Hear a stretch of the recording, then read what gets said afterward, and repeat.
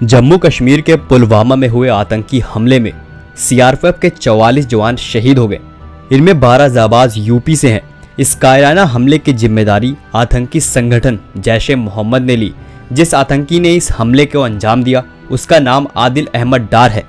भारत के शान और मान के लिए अपनी जान न्यौछावर करने वाले चौवालीस शहीद जवानों में से 12 यूपी के सपूत हैं। इनमें दो शामली ज़िले के जवान हैं।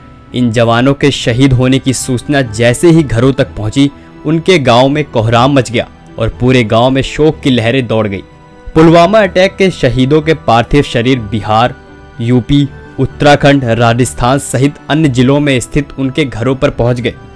शहीदों के अंतिम संस्कार के लिए लोगों की भारी भीड़ उमड़ रही है। वाराणसी के तोहफापुर गाँव में सीआरपीएफ जवान शहीद रमेश यादव के अंतिम संस्कार के लिए हज़ारों की भीड़ हाथों में तिरंगा लिए पहुँची। वहीं शहीद रोहित का पार्थिव शरीर राजस्थान के जयपुर स्थित गोविंदापुरम पहुँचा। यहाँ उनके अंतिम दर्शन करने के लिए काफ़ी संख्या में लोग पहुँचे।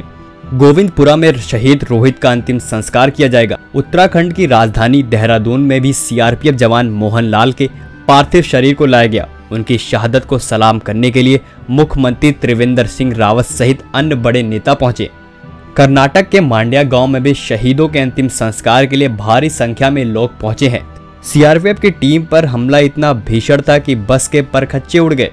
शहीदों को पार्थिव शरीर पटना भी पहुँच गया है। इस भीषण आतंकी हमले के बाद पूरे देश में पाकिस्तान को लेकर गुस्सा है और लोगों की कार्रवाई की मांग कर रहे हैं।